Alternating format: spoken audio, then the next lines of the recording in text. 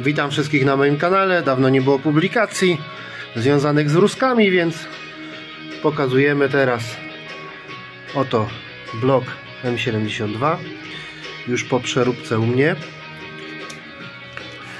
To co jest zrobione to już widać. Tutaj mamy sfazowany otworek. Blok został wyosiowany. Został wyosiowany. Płaszczyzn nie robimy, gdyż nie było na to zlecenia. Smarowanie prawego cylindra na takim moim patencie. Tak sobie to wygląda. Nie trzeba rurki wstawiać. Mamy sobie tutaj nową podporę dostarczoną razem z blokiem, więc tutaj widzimy widzimy podporę. Teraz ustawimy to tak jak ma być. Tu mamy kanałek olejowy, widać to zgrubienie. Kanałek olejowy.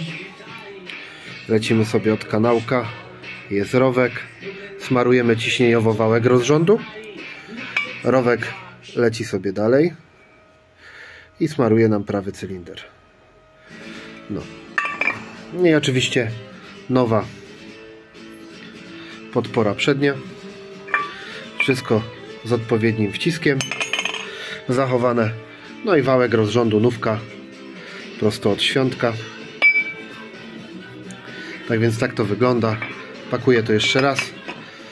No i wylot.